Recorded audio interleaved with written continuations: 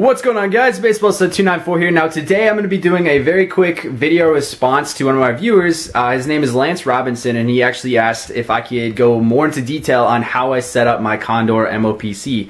So I do have a video review up of this plate carrier but in that video I did not talk about the pouches or anything I have webbed into the MOLLE system. I just wanted to briefly talk about um, the plate carrier itself as a whole. So um, but again, he asked if I could talk more about the pouches simply because he either has it um, or he's purchasing the same plate carrier or something similar and he wanted some ideas. So, um, one disclaimer I have for you guys is uh, I am actually going to hopefully get this done very quickly because in about two hours I'm going to be going to an airsoft game. So um, by the time I'm recording this, I don't have time to adjust the lighting so you can probably see the shadow right now moving at the bottom of the screen. And also um, a lot of these pouches I have on my JPC, which I'll be running at this game today. So um, not all of the pouches are webbed properly into the MOLLE system, but they are there just to show where I would typically run them at on the plate carrier. So Jumping right into it, starting from the front, you can see coming down from the shoulder straps, I do have my one point bungee sling. I always run it through my shoulder straps on this plate carrier simply because it's a little bit bulkier the way I set it up and therefore I don't want it running across my shoulder underneath my arm. Um, so this just kind of helps to mainstream it a little bit. And plus, the padding that actually comes with the MOPC was surprisingly nice. Um, they're definitely a lot more heavy duty than other plate carriers I've per personally owned, ran with, and seen other people use. So therefore, I can help distribute some of that weight from my gun um, onto my shoulders without having too much neck strain or shoulder strain. Um, also, moving to the left, you can also see I have my U94 push-to-talk wiring going through the left shoulder strap as well as a hydration um, tube running through there. So I simply run that underneath my admin pouch as you can see.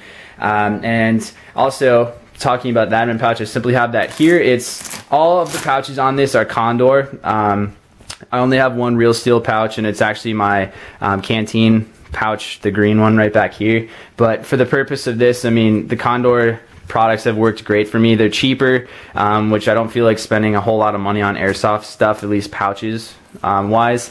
So, and also the coloring matches perfectly, so I don't have any off-colored pouches. So, um, but again, my admin pouch is Condor. It's it's a smaller one. It's not a full size, but it does Velcro down, and as you saw, it does have um, some internal pockets to help keep IDs, maps, things of that nature. Um, and I have my Airsoft Megastore patch. It's the first patch I ever bought a couple years ago for Airsoft. So I like to run that on here. I like the coloring everything. So um, as I mentioned, moving to the left, I have my U94 push-to-talk system with the wiring running um, underneath it into the shoulder straps. And then obviously on the back and I'll show you guys what I have all this stuff housed in um, when I get to the back of the plate carrier. But it's been a nice push to talk system. It's pretty mainstream um, easy to use. It's a lot nicer I think than the simple um, one where it's just a circular button. I can't think of the name of that right now but it's worked out well for me and I typically have it running to my ComTac 2 systems.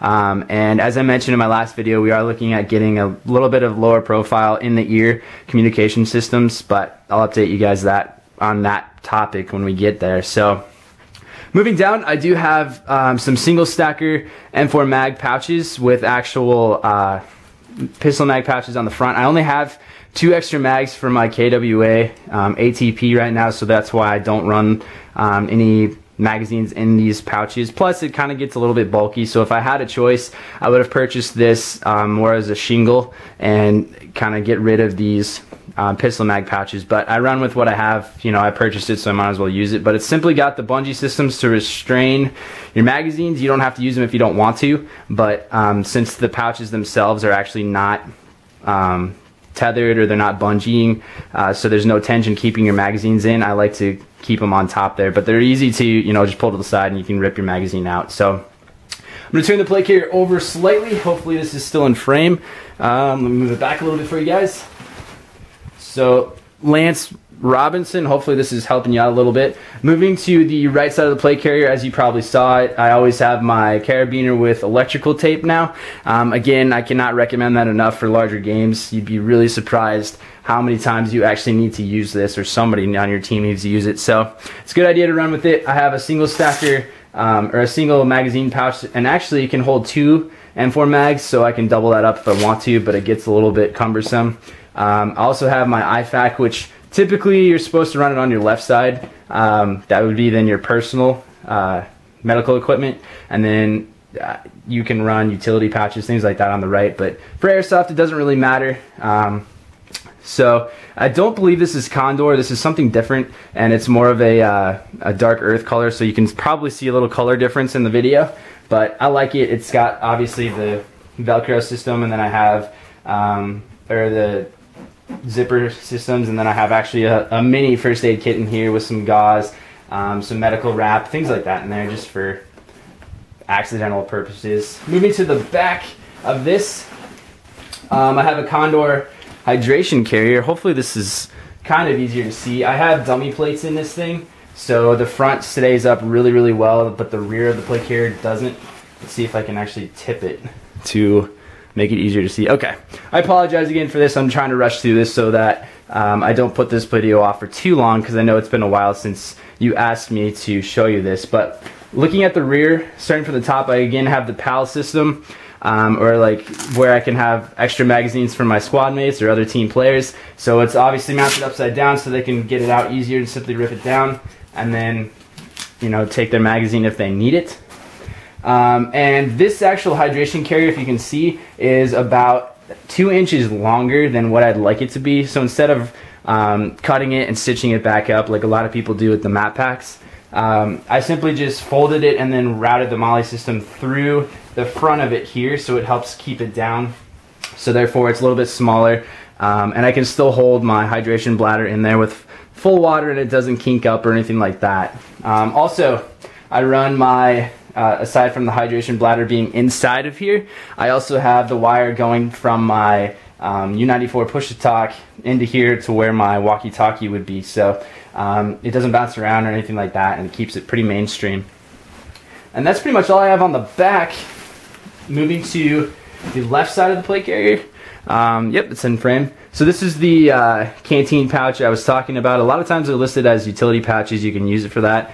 Um, but they originally were designed to hold a uh, those old canteens. So this is, again, the only real steel pouch that I have. And I kind of liked the olive drab color. I'm not sure why, but I picked it up for a good deal locally here at a surplus store. And I thought it'd be kind of cool to have a little contrast just because a lot of soldiers that I've seen don't have all the same color plate, um, either plate carriers or pouches on their plate carrier system. So it's kind of nice to have a little contrast.